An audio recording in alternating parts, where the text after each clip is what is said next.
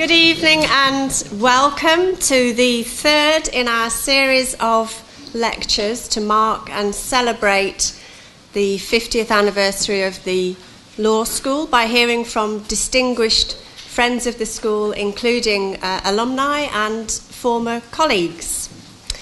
Tonight's lecture with Sir Maurice Kay promises to provide a real insight into the developing role of the judiciary from the actual experience of one of its most uh, eminent members. So, a few words by way of introduction, and I've um, reduced this significantly, otherwise, there wouldn't be any time for you to talk.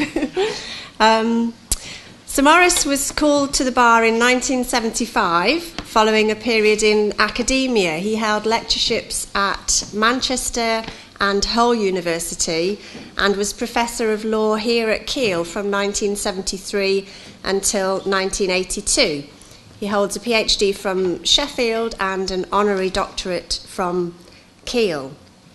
Uh, during his career at the bar, he uh, covered a wide ranging uh, practice, including sitting as an arbitrator overseas, and was appointed as a High Court judge in 1995.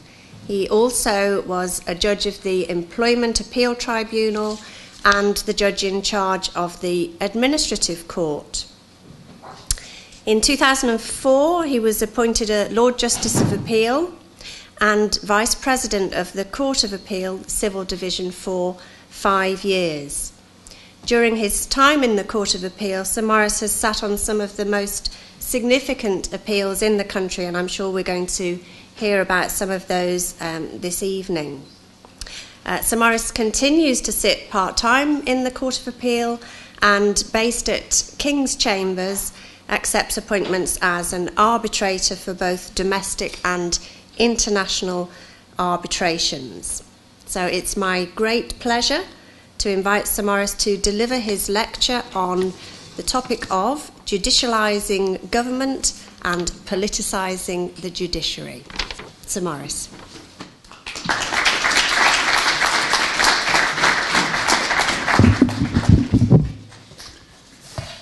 Alison, thank you very much for that um, introduction. Um, uh, factually, it was mainly correct. Um, but I, I, ought to own up to one thing. Whilst I did, following my retirement four years ago, carry on in the Court of Appeal on a part time basis. Uh, I can no longer do that because two months ago I reached what judges call the age of statutory senility, um, after which you're not allowed to sit in the Court of Appeal or anywhere else in this country. So I look for pastures elsewhere. It's a great pleasure to be back uh, in this university which was, as Alison has said, my academic home and place of work for almost 10 years in the 1970s and early 1980s. I was very fortunate. The then head of the law department, Professor Don Thompson, and the then vice chancellor, Professor Campbell Stewart, agreed to let me qualify and practice at the bar whilst remaining in post here. That was quite unusual in law schools at the time Almost inevitably, a point came where I had to choose between my two jobs. That I chose the bar was not entirely unrelated to the fact that in the 1980s, and particularly the early 1980s, uh, universities in general, and Keele in particular, were having a rather difficult time. It gives me great satisfaction to return 35 years later, knowing those precarious times gave way to years of great achievement for Keele, uh, and in particular to its law school. And I'm delighted to be able to extend sincere congratulations to all those who have contributed to its growth and current reputation. In my academic years, uh, my main interests were in company law, competition law, and employment law, including their European implications. However, my practice at the bar was far more varied than that. And as a judge in the High Court and the Court of Appeal, I eventually came to specialize in public law, judicial review, and human rights. That immediately identifies me as a creature of my judicial time. Very few judges from earlier times had the opportunity to major in these fields. When I started at the bar, judicial review ex- rarely extended beyond a single court in the Royal Courts of Justice and that for less than a full working week at a time. However, by the time I came to sit in what was still then called the Crown Office list in the 1990s, its growth was well underway. Initially, I was one of about 18 High Court judges who spent an average of about a third of their time doing the work in what was soon to become the administrative court. In the early noughties, when I spent two years as the judge in charge of the administrative court, its caseload had grown to about 6,000 cases per year. The growth since then has remained exponential. Now there must be about 100 judges involved in the administrative court, uh, not just in London, but in a devolved basis around the country uh, for part of their working year. There are many reasons for this growth, including the increased range and complexity of immigration and asylum law, the Human Rights Act 1998, the expansion of other statutory frameworks for the exercise of executive power, and a growing awareness in the legal profession and the public at large that the rule of law imposes legal constraints on the way in which government and public bodies make decisions which impact upon individuals, or as you're now supposed to say, impact individuals. In this lecture, I shall try to explain how and why judges have become more involved in determining the lawfulness of executive decisions. Uh, that is what I have tendentiously referred to as judicializing government. Having said my piece on that, I want to consider the other side of the coin and ask whether, along the way, the judiciary has become unduly politicised and whether the, these developments of the judicial process have or should have implications for the way in which judges are selected and promoted. Let me begin by taking you back to the culture of judicial review at the time when I became a judge in 1995. As every law student knows, the classical centerpiece of our administrative law uh, until very recent times was expounded by Lord Greene in the case of um, Associated Provincial Picture House and Wednesbury Corporation just after the Second World War. It emphasized the limited role of the courts it was not for a judge to decide what an ex- executive decision should be.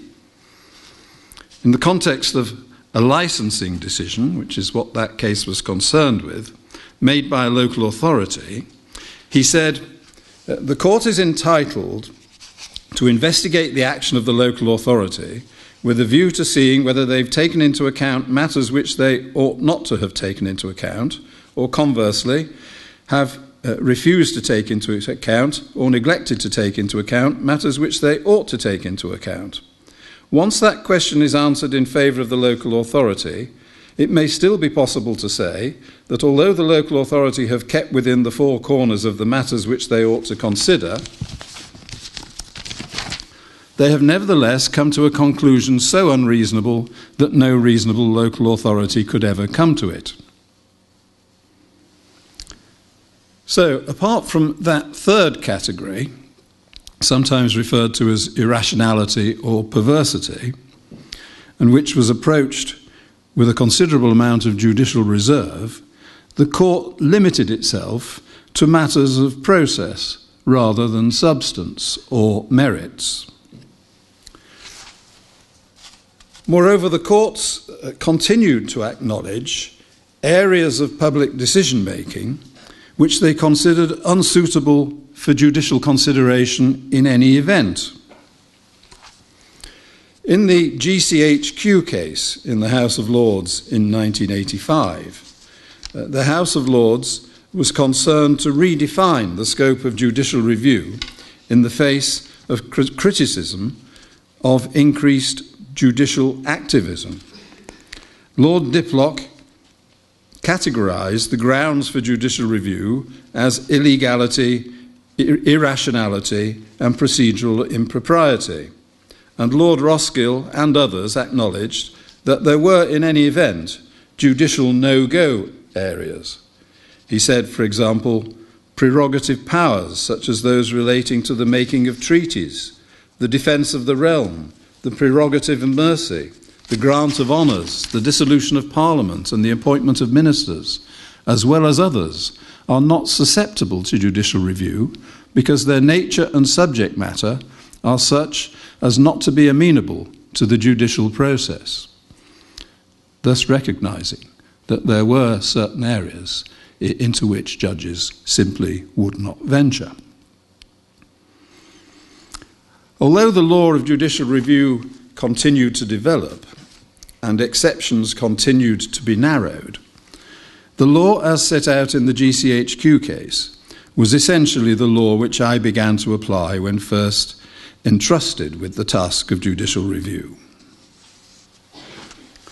Without being too autobiographical, I was one of a three judge court in campaign for nuclear disarmament against the Prime Minister in 2002, a case in which uh, CND applied to the High Court for a declaration that the UK government would be acting in breach of international law were it to take military action against Iraq without a further resolution of the UN Security Council. The case was argued and decided about four months before the Iraq War. Uh, Lord Justice Simon Brown, who was the senior presiding judge of the three of us, uh, re- referred to the application as a novel and ambitious claim. All three of us rejected it for a variety of reasons. In my judgment, I base my decision on my assessment that CND was essentially inviting us into one of the GCHQ forbidden areas. Basing myself on that case, I said foreign policy and the deployment of armed forces remain non justiciable. Uh, that turned out to be the high watermark of my restraint. I therefore want to consider how it came about that in the ensuing years, my colleagues and I found ourselves adjudicating upon government decisions of a kind and in ways that few of us could ever have anticipated. There can be no doubt that the principal, but not the only, driver was the Human Rights Act which made most of the rights set out on, in the European Convention on Human Rights enforceable in our domestic courts. Of course, many convention rights do no more than reflect pre existing domestic common law rights. And it is also a truism that the common law was showing signs of an increased recognition of fundamental rights even before the coming into force of the Human Rights Act. However, the consequences of the Act were inherently expansive of the judicial role. First, although the architecture of the Act preserves the sovereignty of Parliament as the centrepiece of our unwritten constitution, it empowered the courts to make declarations of incompatibility of primary legislation with the European Convention and provided a fast track parliamentary procedure to render the domestic legislation compliant. Secondly, it created substantive rights which were not so established previously in domestic law. For example, the absolute right not to be subjected to inhuman or degrading treatment in Article 3, and the qualified right to respect for a private and family life in Article 8. Thirdly, in determining the scope of some convention rights, it has expressly brought the European concept of proportionality into domestic law. Turning to those three items, uh, I do not want to spend too much time on declarations of incompatibility. So far, there have been, I think, about 29 of them. I was party to two or three of them, but perhaps the best known, not one of my cases, were the declarations in A against the Secretary of State, which caused the government to repeal its legislation, which had permitted the detention without trial of foreign suspected terrorists. And also the Anderson case in 2002, which led to the government ending the power of the Home Secretary to fix the minimum term of imprisonment to be served by a prisoner serving a mandatory life sentence prior to an application for parole. However, it seems to me that what has been most significant has not been the number of cases, but the statutory enlargement of the judicial function. A judge who has been entrusted with the power to influence the content, the content of primary legislation, albeit indirectly, may begin to feel less inhibited when uh, dealing uh, with other judicial review cases. Turning to the second category, substantive human rights, it is instructive to refer to one of the early Human Rights Act cases, uh, Limbuela and others, which got to the House of Lords in, I think, 2005. At the time, there was concern about the increase in the number of asylum seekers and the cost to the state of supporting them pending determination of their claims. It had become apparent that many uh, were not claiming asylum on arrival, but were only doing so some time later, often when the date and circumstances of their arrival were difficult to ascertain. Many were thought not to be genuine asylum seekers, just economic migrants who had entered the country illegally and claimed asylum days, weeks, months, or sometimes years later. Although legislation required the government to provide financial support for asylum seekers pending determination of their claims, by Section 55 of the Nationality, Immigration and Asylum Act 2002, uh, the Secretary of State was empowered to withhold asylum support where he was not satisfied that the application for asylum had been made as soon as reasonably practicable after arrival in the country. Uh, there was a sort of underlying assumption that people who didn't apply straight away were less likely to be genuine asylum seekers, whether that was correct or not. Uh, however, support could only be withheld if the withholding would not involve a breach of the applicant's human rights. In the Limbuela case and a number of other cases, almost every judge who had to consider the issue in the High Court, the Court of Appeal, and the House of Lords concluded that to leave an asylum seeker destitute pending determination of his claim amounted to inhuman or degrading treatment pursuant to Article 3. In order to reach that decision, uh, the courts had to interpret the words treatment and inhuman or degrading. But my point is that they had been given new powers involving concepts that were novel in domestic law and they were being required to adjudicate upon the merits of the application of what at the time was a high profile and controversial government policy. The third category of human rights involvement is perhaps the most interesting proportionality. Although it had long been an important concept in the administrative law of other European countries, and was well established in European Union law, it had not as such penetrated our domestic Wednesbury approach. When the Human Rights Act came into force in 2000, it was obvious that judges were going to have to consider the proportionality of challenged executive acts and decisions, particularly in the context of the qualified rights, which were defined by reference to a balance between the right of the individual and the interests of the state. Uh, this was acknowledged and explained by Lord Steyn in the case of Daly in 2001, when he pointed out that the proportionality test requires more than traditional, the traditional Wednesbury approach, or even the so called super Wednesbury approach, which had crept into more recent domestic cases involving fundamental rights. Nevertheless, said Lord Steyn, talking of proportionality, this does not mean that there has been a shift to merits review. In other words, he was saying there's been a change, but it's modest, and proportionality does not add that much to our existing uh, concepts.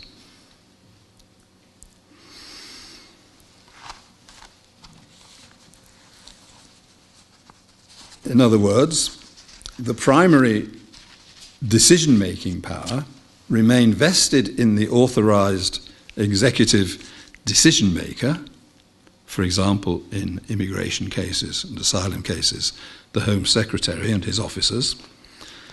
And the role of the courts remained one of the review of that decision, not a primary decision making role. However, uh, what has become apparent since then is that in some areas, the courts do have to make their own assessment of what is or is not proportionate. Again, immigration law provided the battleground. In the early Human Rights Act challenges to immigration decisions on Article 8 grounds, the courts tended to adopt a restrained Wednesbury type approach, considering whether the executive decision was one which the decision maker was reasonably entitled to consider proportionate. Whether or not the court itself would have come to the same conclusion. Uh, see, for example, the case of M. Croatia in 2004. However, in Huang in 2007, the House of Lords made it clear that the legislation establishing the jurisdiction of the immigration tribunals, and beyond them the courts, conferred a primary decision making power. The tribunals, and on appeal the courts, were not confined to a reviewing role, they had to form their own view on the merits of whether the executive decision was proportionate or not. This is a clear example of legislation having expressly enlarged the role of the judges, not of the judges simply arrogating powers to themselves. Another area in which the same can be said is the balance between the right to respect for private life in Article 8 and freedom of expression in Article 10. I want to gradually move away from the Human Rights Act now. The observation I want to make is that at about the same time as these express statutory enlargements of the role of the judiciary, other legislation was following a similar pattern.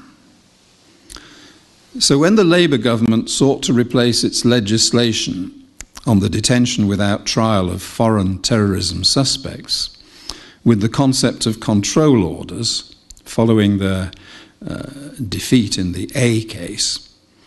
It did so by creating a new statutory role for the courts, necessarily bringing in cross references to the Human Rights Act. Article 5 protects individuals against the unlawful deprivation of liberty. Control orders plainly limited the freedom of those who were subject to them, the courts had to decide where the boundary lay between the deprivation of liberty, which is unlawful, and the mere restriction of liberty, which can be lawful. a matter of fact and degree, as to which judges had to, quote, have regard to the jurisprudence of the European Court of Human Rights in Strasbourg. Control orders were interesting because they involve the interplay of new statutory concepts, an express role for the judges in adjudicating upon them, and cross references to the Human Rights Act in that task. Some modern legislation, however, has required judicial consideration of immensely important political and economic issues. Consider, for example, the rather mundane sounding Air Quality Standards Regulations 2010, uh, domestic law giving effect to an EU directive. The, the regulations require the government to publish air quality plans aimed at reducing exposure to nitrogen dioxide emissions. By Regulation 26, the government's air quality plan must include measures intended to secure compliance with any relevant limit value within the shortest possible time. In a series of cases, the pressure group ClientEarth has established repeated breaches of those duties. My point is that until recently, any legislation on such matters would almost certainly have been limited to uh, expressions of aspiration or targets and not couched in terms of justiciable obligations. Nor is it only in EU derived law that we see this phenomenon. The Warm Homes and Energy Conservation Act 2000 enacted statutory obligations which required the government to take specific steps to ensure that, so far as reasonably practicable, persons do not live in fuel poverty, as was there defined. In a case brought by a number of pressure groups, led by Friends of the Earth, uh, I had to give a judgment on issues involving statutory interpretation practicability, and departmental budgets. In the event, the challenge failed, but the judgment nevertheless demonstrates how deeply judges are now drawn into disputes which until recently would have been considered non justiciable matters of policy and would not have been expressed in legislation which required uh, judicial consideration. It is the way in which recent statutes have been framed that has brought about this change. Uh, some of these cases have massive political and economic implications. In 2012, I was a member of the Court of Appeal, which had to consider the lawfulness of the government's decision to change the measure for inflation proofing state pensions and welfare benefits from the retail price index to the consumer price index. The decision was aimed at saving £6 billion per year. The statutory duty required the Secretary of State for Work and Pensions to determine that pensions and, that pensions and benefits have retained their value in relation to the general level of prices, estimated in such manner as the Secretary of State thinks fit. As that language suggests, a Wednesbury challenge faced the difficulty that the consumer price index had a volume of rational justification. However, certain other issues had to be considered, including whether, and if so, and to what extent, the Secretary of State could consider the implications for the national economy when choosing his index.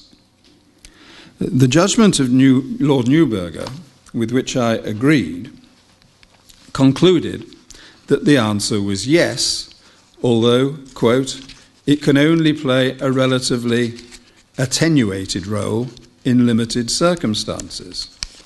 Paragraph 49 of the judgment shows that that was a close run thing in that case.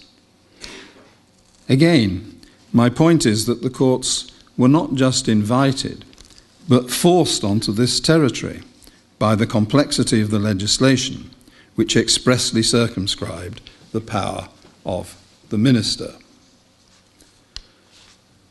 I could go on. You may think probably that I am doing. Um, but it's hardly surprising that a generation of judges which had been brought up to understand the limits of judicial review, only to discover that modern legislation was narrowing those limits, may have begun to lose some of its inhibitions. Uh, I did not expect or desire that when I embarked on these judicial tasks in the 1990s.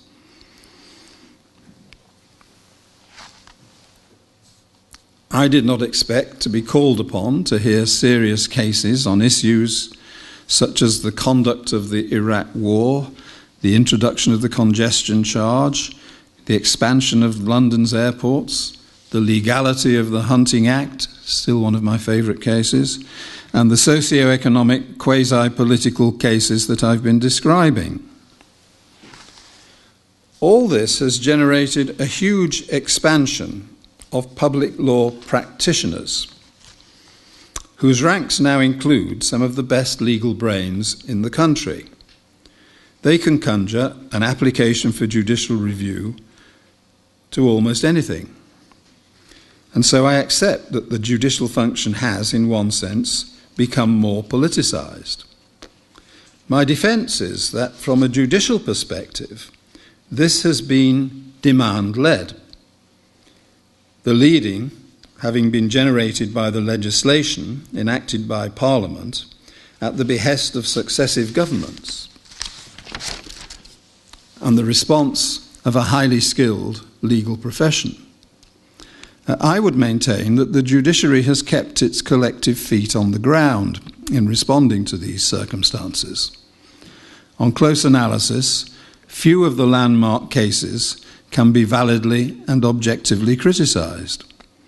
Uh, politicians may sometimes be frustrated by them, and less responsible elements in the media may self indulgently condemn enemies of the people. But I do not believe that anyone who values the rule of law can see recent judicial history in that way. If time permitted, I would refer to a large number of high profile cases in which judges resisted the good call to go further than they have. Uh, my conclusion on this first stage of my lecture is that there has been a degree of judicialization of government, but it has been largely self inflicted by successive governments, and given their legislative predilections, it has been extremely beneficial. Uh, that government remains intent on continuing down this road is perhaps well illustrated by Clause 6.2 of the European Union Withdrawal Bill, which is headed Interpretation of Retained EU Law. This is referring to uh, EU law and EU derived law, which continues in force as domestic law uh, following Brexit. Uh, some of our Oh, the, the clause 6.2 actually says uh, a court or tribunal uh, need not have regard to anything done on or after exit day by the European Court, another EU entity, or the EU, but may do so if it considers it appropriate to do so. In other words, leaving it to the courts to decide uh, whether and to what extent to apply European court cases as a basis for resolving the same law but in a different jurisdiction, namely the post Brexit UK court. Uh, some of our most senior judges, uh, for example, Lord Neuberger, have complained about that drafting on the ground that it is too open and lacks guidance, leaving it to the judges to work out for themselves what is and what is not appropriate, and thereby exposing them to potential political criticism of their judgments as being too Europhile or too Eurosceptic. One can see the point, but for myself, I do not think that the judiciary would be unduly compromised.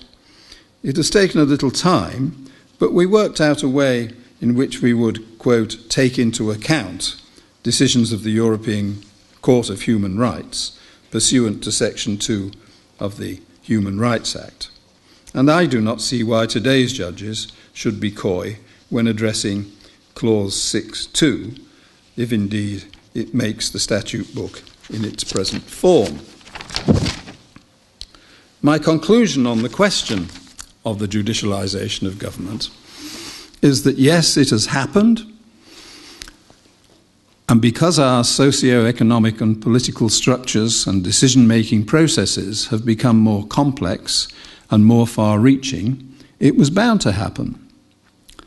The rule of law has been extended into more and different areas, some of them controversial. It is my view that the judicial response has almost always been restrained and appropriate.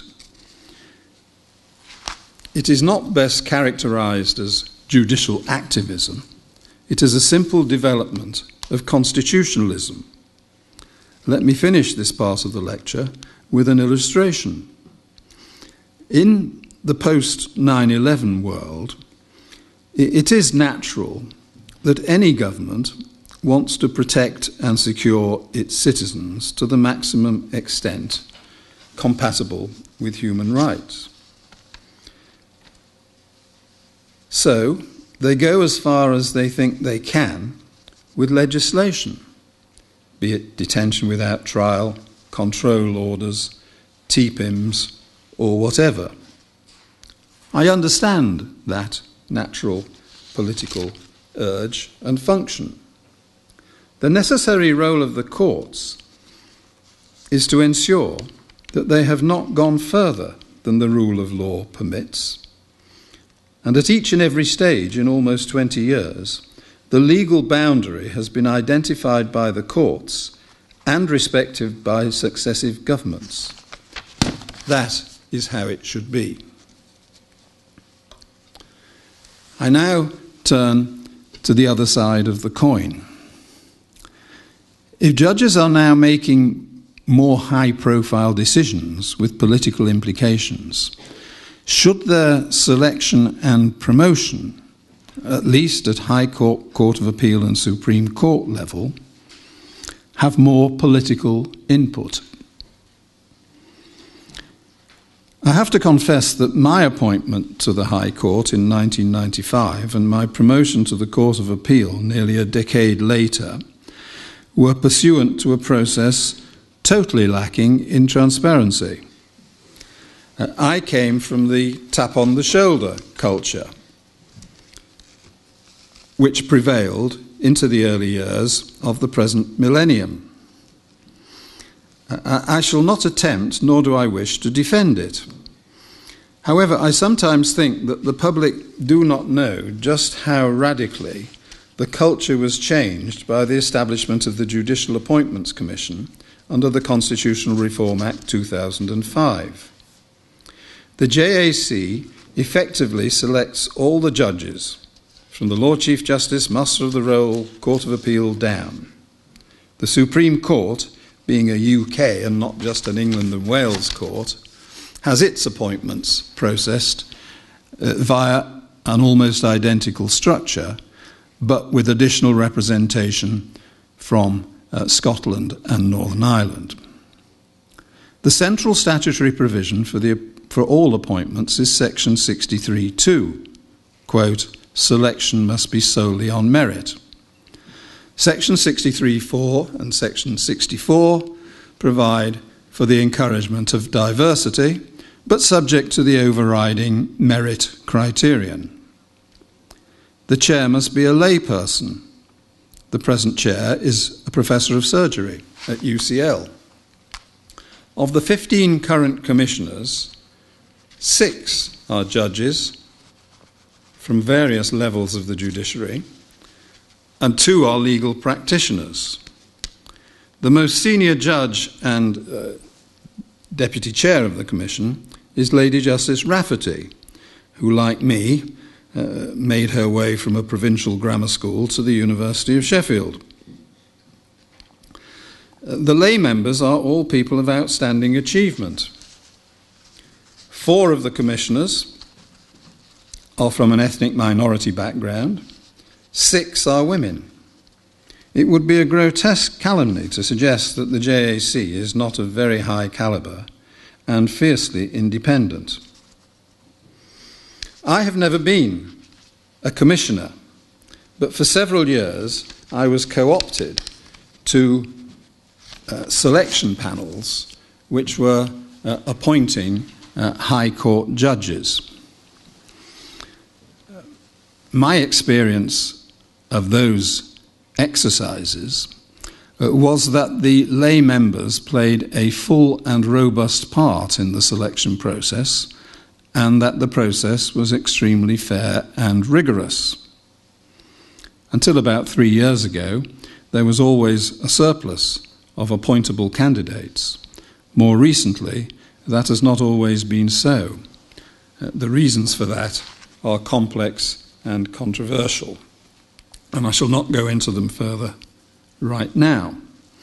I simply pass on my experience that the process is transparent the selection criteria are published and rigorous, and the persons appointed to the High Court bench remain of very high quality.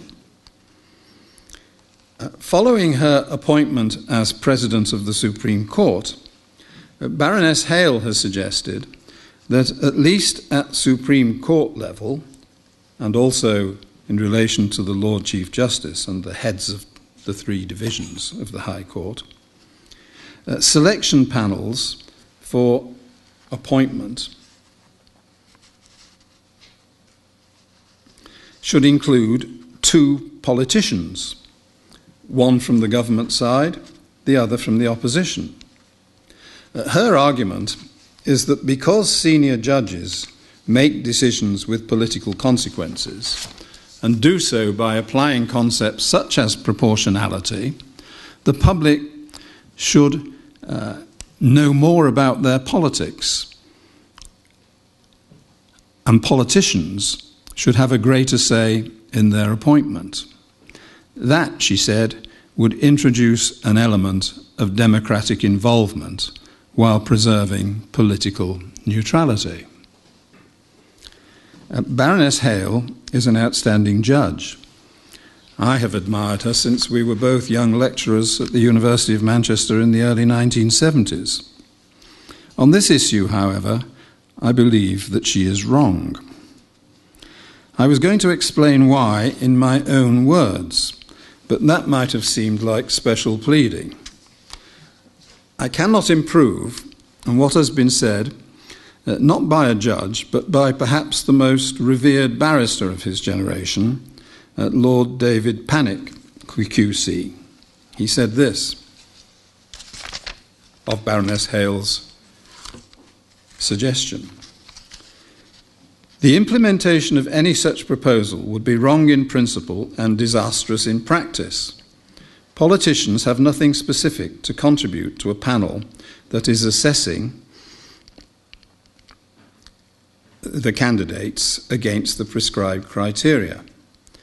More importantly, the presence of politicians on the panel would pose a danger that the relevant criteria would in practice be supplemented or even worse, replaced by a focus on the perceived political acceptability of the candidates. Indeed, to welcome politicians to an appointment panel would wrongly signal that political factors are relevant to selection.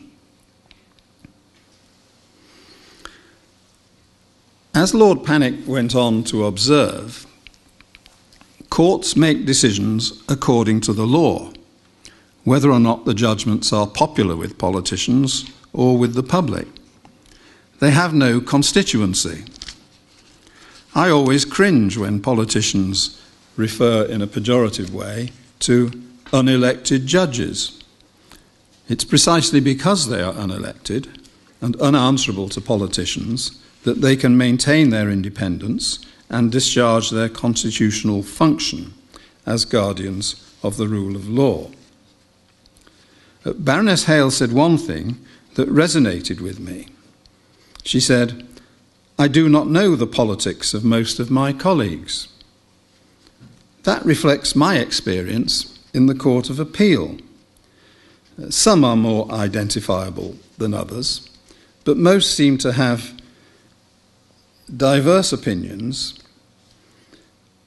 formed on an issue by issue basis rather than ones which reflect party alignment or any ideology. And even when a judge's known personal opinion might lead to an expectation that he would decide a particular case in a particular way, uh, that expectation will often be shown to have been false when his judgment is handed down. Just before the Brexit Article 50 case in the Supreme Court, uh, the omniscient Daily Mail ran a feature in which each of the 11 judges was given a Europhile rating. As you know, the court divided 8 3 in that important case. The individual judgments, however, did not reflect the predictions of the Daily Mail. They are a vivid illustration of judicial independence. Much as I respect the US Supreme Court, I do not think that its decisions in politically charged cases have the same reputation for political neutrality. So often they divide on party lines. That seems to me to be inevitable once a system of judicial appointments becomes politicised. I hope ours never does. Thank you.